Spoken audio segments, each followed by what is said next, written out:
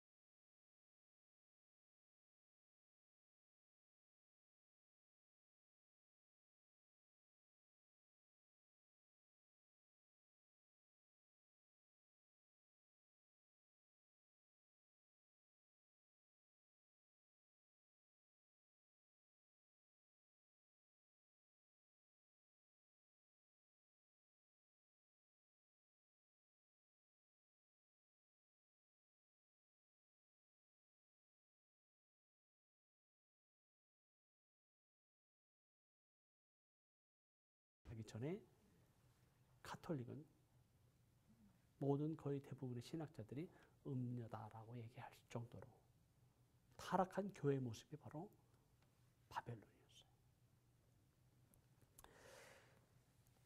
이 요한계시 18장에 보면 이 바벨론에 의해서 만국과 수많은 사람들이 미혹된다는 거예요. 18장 요한계시 18장 23절 한번 보실까요? 등불빛이 결코 다시 내 안에 비치지 아니하고 신랑과 신부의 음성이 결코 다시 내 안에서 들리지 아니하로다. 너희 상인들은 땅의 왕족들이라 내 복수로 말미암아 만국이 미혹되었다. 다시 말하면 바벨론에 의해서 수많은 사람들, 왕족과 상인들과 수많은 사람들이 어떻게 돼요? 미혹된다. 그 마지막 때에 특별히 바벨론이라고 하는 것이 구체도 이것이다라고 우리는 얘기할 수 없지만 그 어떤 국가나 민족이나 시스템이나 어떠한 개인에 의해서 어떤 종교적인 시스템에 의해서 수많은 사람들이 어떻게 된다고요? 미혹될 것이다. 그리고 24절에 보니까 더 놀라운 것은 이 바벨론에는 선지자들과 성도들과 및 땅 위에서 죽임을 당한 모든 자의 피가 그 성 중에서 발견되었느니라 하더라. 바벨론은 더 나가서 무섭게도 진리를 따르는 하나님의 백성들과 선지자들과 성도들의 거룩한 피가 가득 있는 그곳이 바벨론이다. 그러니까 바벨론이라고 하는 것이 이 거룩한 성도들을 핍박하고 죽이고 하는 그러한 장소가 된다. 그럼 오늘날에 이 바벨론과 같은 시스템을 가진 국가들 있다면 어떤 국가들이 있겠어요? 대표적으로 네, 이슬람 국가가 되기도 하고 북한이 되기도 하고요. 예수 그리스도 믿는 성도들의 피가 가득한 그 큰 성 바벨론. 물론 이것이 하나의 예표가 돼서 이런 어떠한 국가나 어떤 또는 심지어 종교, 이슬람 종교가 수많은 성도들의 피를 막 죽이지 못해 안타까워하면서 막 죽이려고 하는 그들의 모습을 보면 이 우리의 상식을 뛰어넘잖아요. 어떤 악한 사단의 조종을 받고 하나님의 거룩함을 훼손하고 바벨론의 어떤 영에 의해서 마지막 때를 막 준비하고 치닫는 그러한 것을 마치 보는 듯한 것을 우리가 지금 현재 경험하고 있습니다. 앞으로 더 어떤 존재가 나타날지, 어떤 국가의 시스템이 나타날지 우리는 아직 잘 몰라요. 분명한 것은 여기에서 어떤 종교적으로 말하면 이슬람이라고 하는 또 국가적으로 보면 어떤 나라들을 지목할 수 있겠지만 이 요한계로 18장에 보면 이 바벨론을 묘사하는 여러 가지 그 describe 하는 묘사하는 그것들 쭉 볼 때 몇몇 신학자들이 또 선교학자들이 이 바벨론을 아, 이슬람으로 보기도 합니다. 특별히 우리가 터키와 투르크찬과 이슬람권의 영적 회복과 부흥을 위해서 기도하고 있기 때문에 이것이 구체적으로 이거다라고 우리가 결론을 내릴 수는 없지만 현재 진행되어 가는 과정을 볼 때 하나님의 성도를 핍박하고 죽이고 또 이슬람으로 인해 수많은 상인들이 치부, 불을 얻고 또 그걸로 말미암아 강력한 영향력을 미치고 수많은 사람들이 미혹되어 가는 과정들을 지금 볼 때에 그 바벨론의 한 모습 가운데 이슬람이라고 하는 것을 우리가 볼 수 있습니다. 그리고 여기에서 나중에 보면 순식간에 하나님의 때에 거룩한 하나님의 심판으로 말미암아 이슬람이 멸망을 당할 거다라고 하는 것이 이미 예언이 되어 있어요. 그래서 이슬람은 영원하지 않습니다. 반드시 멸망을 당합니다. 한순간에 여기 보면은 한 시간에 10절에 보면 한 시간에 바벨을 향한 하나님의 심판이 임하고요. 또 17절에 보면 그의 부가 한 시간에 망하도다. 그리고 모든 선장과 각 재단이나 선객과 선원들이 바다에서 일하는 자들이 멀리 서서 보고 그 불타는 바벨론 성을 보면서 외쳐 가로되 큰 성, 이 큰 성과 같은 성이 어디 있느냐? 그러면서 막 울며 애통하면서 그 큰 성이 무너지는 것을 인해서 안타까워하고 울고 애통하는데 왜 그렇습니까? 그 바벨론으로 인해서 부해던 자들이 한순간에 멸망했기 때문에 그런 거예요. 한순간에 멸망.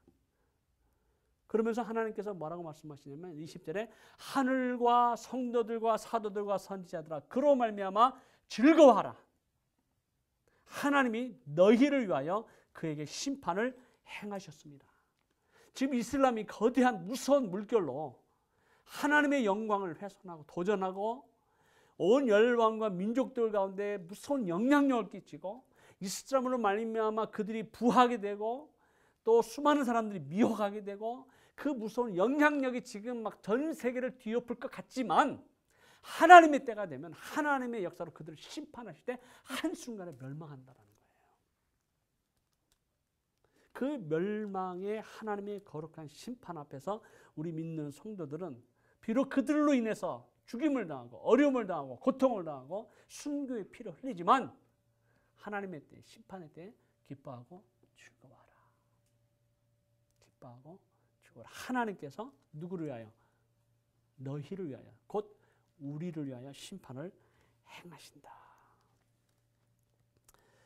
이 요한계시록 18장 8절, 10절, 17절, 18절, 19절을 보면 이 바벨론의 죄가 얼마나 무섭게 하늘을 그 뭐라 그럴까요? 그 하늘에 사무치는 거예요.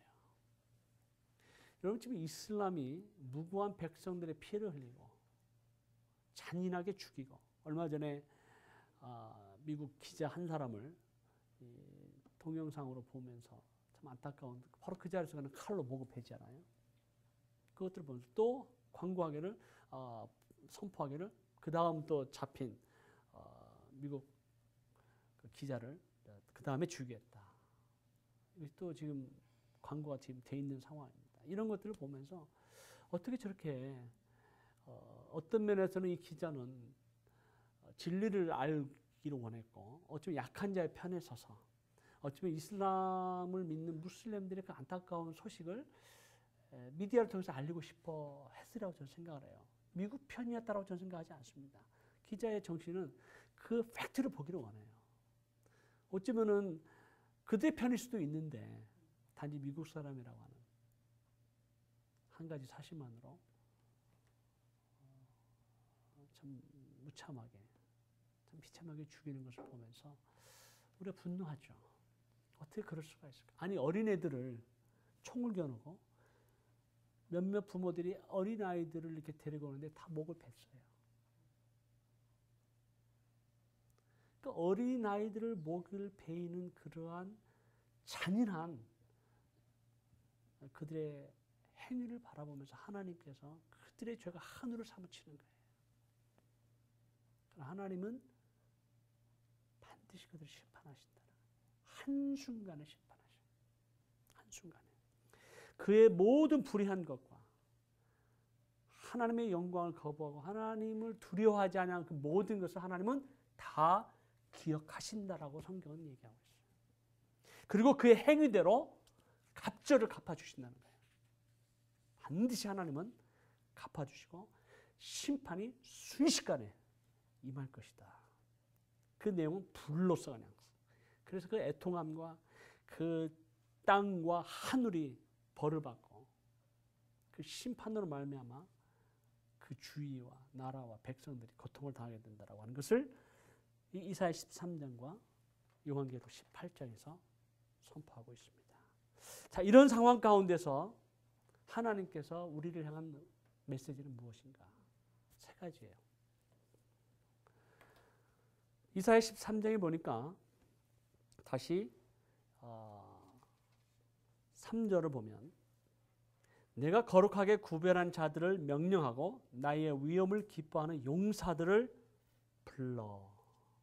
자, 하나님이 이러한 때에 하나님이 이러한 때에 어떤 사람을 부르신가? 어떤 사람을 쓰시기를 원하시는가? 거룩하게 구별되고 하나님의 위엄을 기뻐하는 용사를 부르신다. 아멘이십니까? 아멘. 지금 막 시대가 어지러워요. 흉흉한 소식들이 들리고 있어요.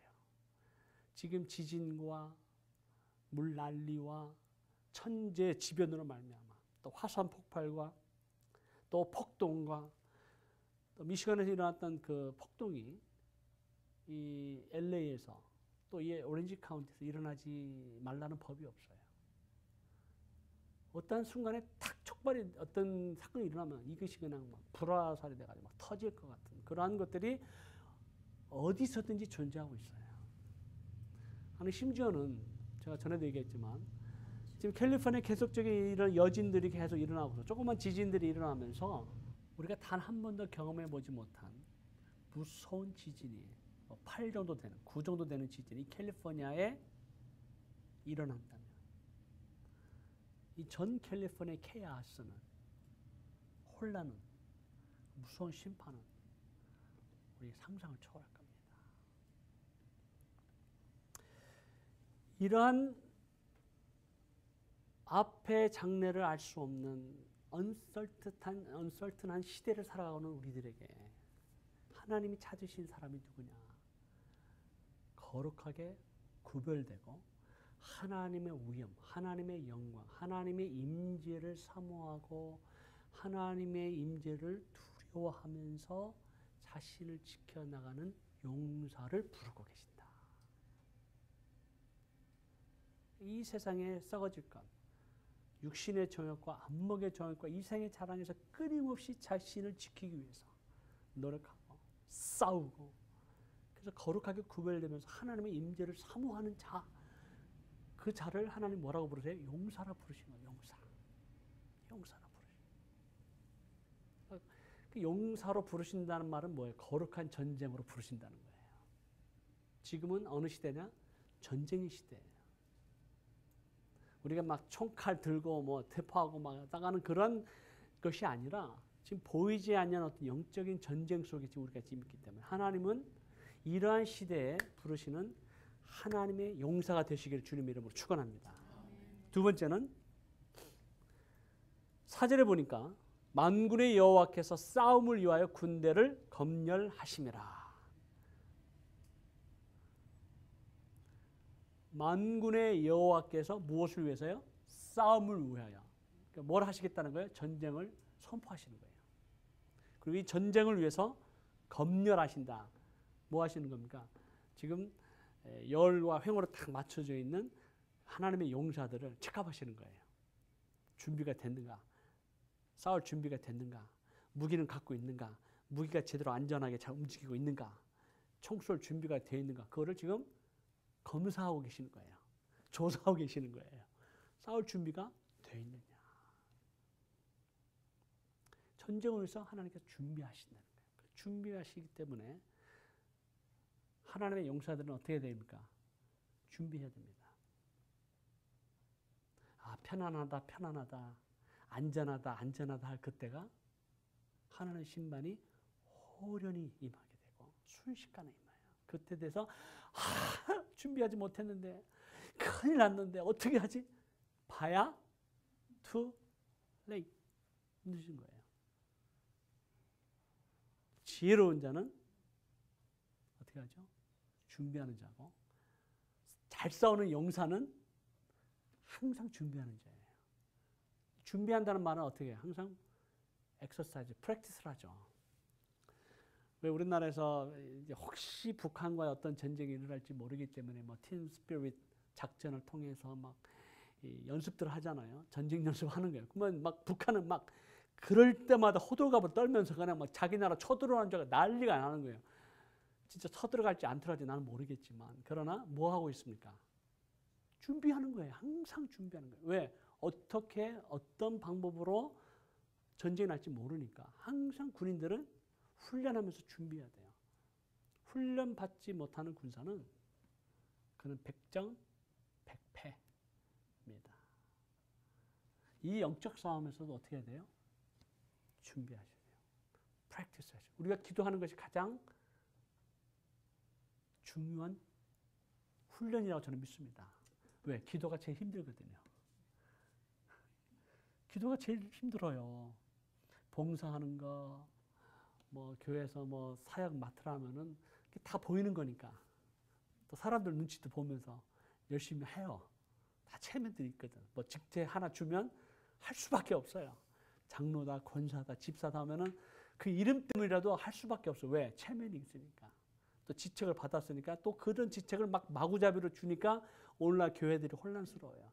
그거를 악용하기도 하고 잘못 사용하기도 하고 오용하고 뭐 그런 것은 많은 부작용이 일어나지만 어쨌든 이런 여러 가지 사역들은 다 하나님 앞에서 정말 두렵고 떨리노 하는 사역이 아니라 어쩌면 교회에서 다른 사람들이 보이기 위한 사역이 될 수도 있어요. 그러나 기도는 골방에서 하는 것이고 소수가 하는 것이고 별로 남들이 인정해 주질 않아요.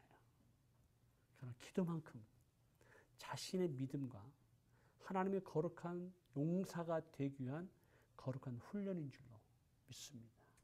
준비하는 거예요. 왜?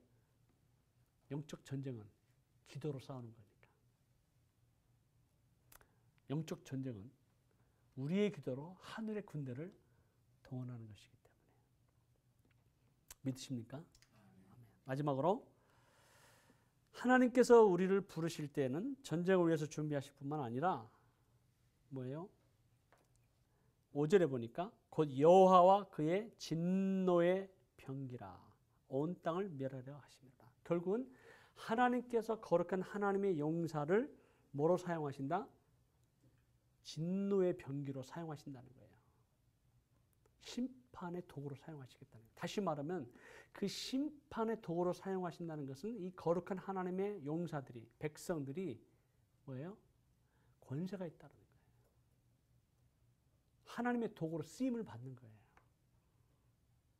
그리고 이 세상의 악과 이 세상의 잘못된 것, 이 세상의 불의한 것, 이 세상에 정말 잘못되어가는 수많은 것들을 향해서 하나님께서 믿는 자들을 통해서 하나님이 이 세상을 심판할 때 병기로 사용하시는 거예요.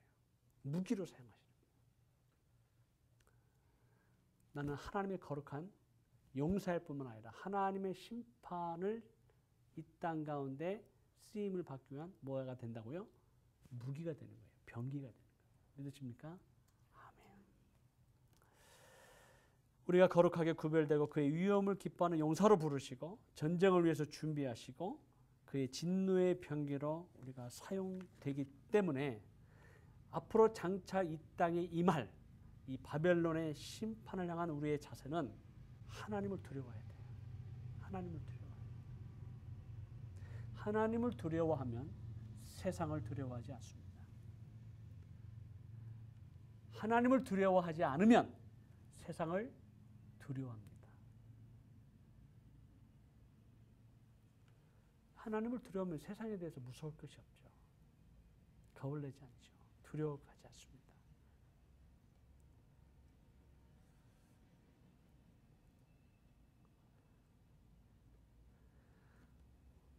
문제는 이 세상 가운데 하나님을 두려워하지 않은 세상의 군왕들과 정치가들과 위정자들과 사회 시스템의 지도자들의 문제가. 아니 심지어는 종교의 지도자들도 교회의 지도자들도 아니 심지어는 우리도 온 우주 만물을 창조하시고 다스리시고 통치하시는 여호와 하나님을 두려워하지 않아요.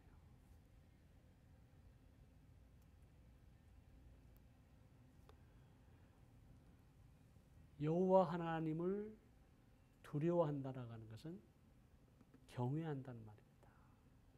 fear God이라는 것은 경외한다는 뜻이에요. 경외한다. 하나님을 두려워하기 때문에 하나님을 경외하는 거죠.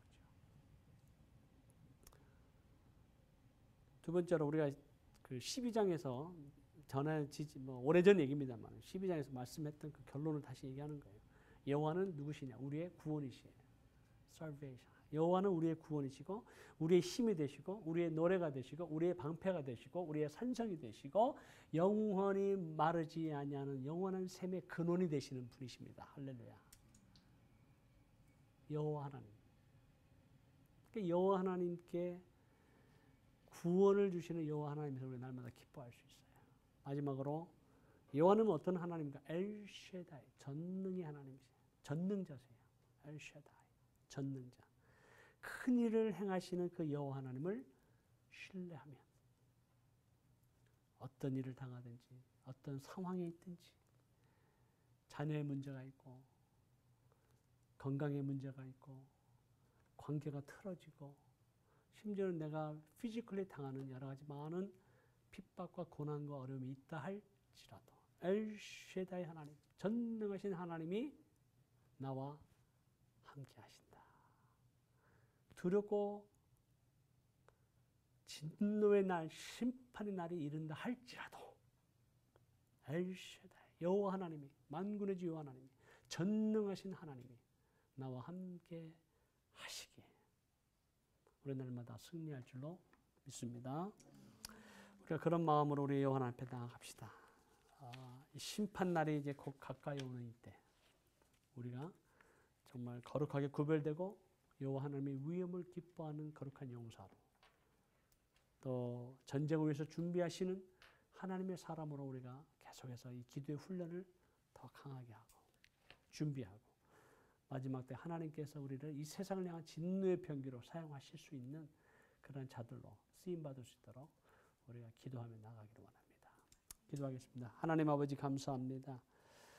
이 마지막 심판의 날, 진노의 날, 하나님의 크고 두려운 그날이 오기 전에 하나님 이 땅을 향한 바벨론을 향한 하나님의 무서운 심판이 임하기 전에 하나님 우리가 여호와 하나님 앞에 구별되고 거룩하게 하시고 여호와 하나님을 경유하는 용사로 우리를 부르셨습니다.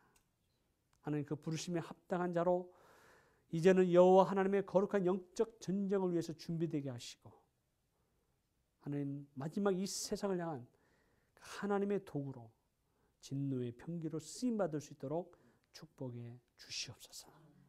하나님 우리에게 놀라운 하늘과 땅의 권세 주심을 감사합니다.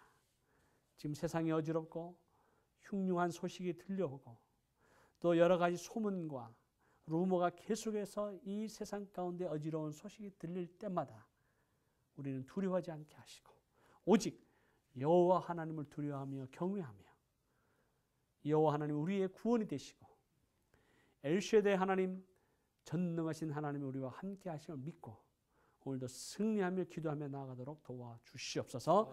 예수 그리스도의 이름으로 기도하옵나이다. 아멘.